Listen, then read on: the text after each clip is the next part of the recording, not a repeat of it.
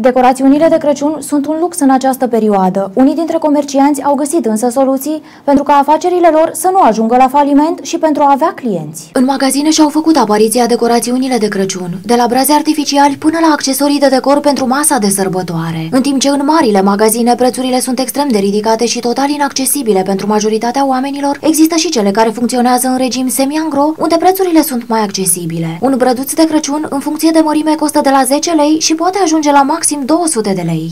Ne aflăm în zona unde avem expus și brăduleții pentru Crăciun, pornind de la cei mai mici, de 60 cm, până la cei mari de 1,80 de cm, unii cu o coroană mai stufoasă, alții brăduleții mai antici, pornind de la prețul de 7 lei până la prețul de 100 și ceva de lei, Uh, care avem cu diferite ornamente. Prețul nu e, în preț nu este inclus ornamentul. De la decorațiuni pentru masa de Crăciun până la globuri și beteală, toate sunt prezente pe rafturi gata să fie achiziționate. Avem uh, ornamentele pentru brăduți, începând de la diferite modele de globulețe, instalații, uh, diferite ornamente globuri personalizate, ornamente din lemn de diferite forme, de la brăduți, felinare de diferite forme, uh, un ornament tot la fel de pus sub răduț, uh, uh, până la coronițele de diferite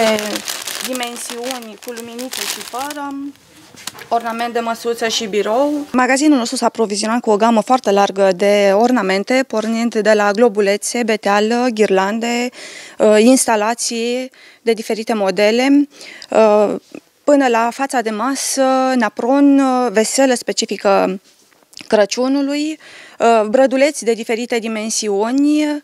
Clienții ne-au venit uh, în mare parte, îi așteptăm în continuare să vină cât mai mulți. Acest magazin a ales o variantă simplă pentru a-și atrage clienții. Achiziționând mai multe produse de același tip, le plătesc la preț mai scăzut, iar metoda de roade. Toate prețurile scad în funcție de cantitatea cumpărată.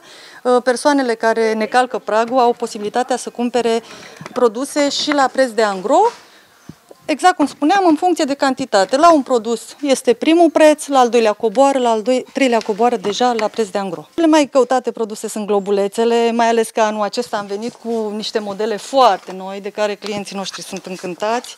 Uh, avem și uh, globulețe eco din lemn, toate sunt căutate, betele, instalații, tot, tot ce ține de decorațiuni de iarnă. Perioada sărbătorilor de iarnă este plină de magie și bucurie, iar cu ajutorul bradului de Crăciun, oamenii își transformă locuința în una primitoare plină de strălucire și rafinament. Mulți optează însă pentru brazii artificiali, căci pot fi păstrați de la an la an și astfel pentru Crăciunul acesta vor achiziționa doar decorațiunile. De decorațiuni ne mai arde acum dacă au scumpit toate în, în lumea asta.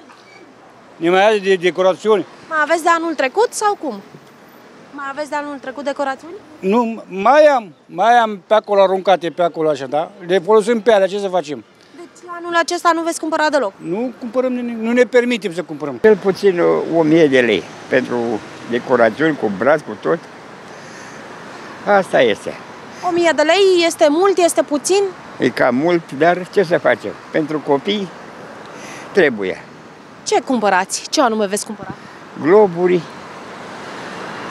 ornamente de brad și bradul. Un buget fix nu avem, că mai deținem decorațiuni și din anii anteriori.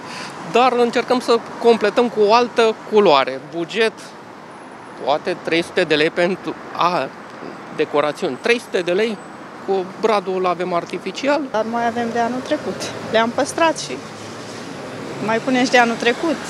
Nu știu să zic. Anul acesta? Da, în jur de 100. De da, da. Ce trebuie să mai achiziționați? Globulețe, uh, luminițele. Sărbătorile de iarnă sunt preferatele oamenilor deoarece aduc în casă bucurie, dragoste, dar mai ales căldură sufletească.